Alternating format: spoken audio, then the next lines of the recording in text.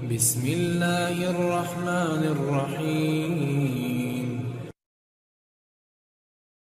Berpakaian tapi telanjang. Berpakaian ala barat yang transparan dan sangat memamerkan aurat akan menjadi budaya kaum muslimin. Semoga Allah melindungi keluarga kita dan generasi kaum muslimin dari musibah ini.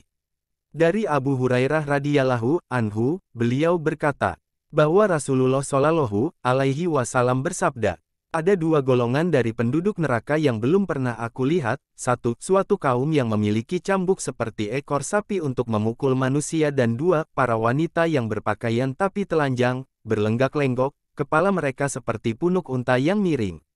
Wanita seperti itu tidak akan masuk surga dan tidak akan mencium baunya, walaupun baunya tercium selama perjalanan sekian dan sekian, hadis riwayat. Muslim nomor 2128 Hadits ini merupakan tanda mukjizat kenabian.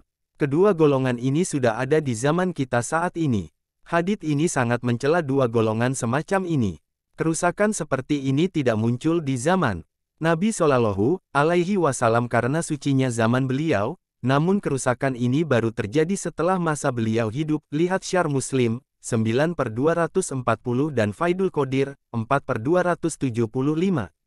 Wahai Robku, dan zaman ini lebih nyata lagi terjadi dan kerusakannya lebih parah.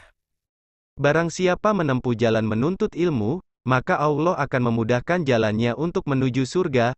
Hadis riwayat, At-Tirmidzi nomor 2682.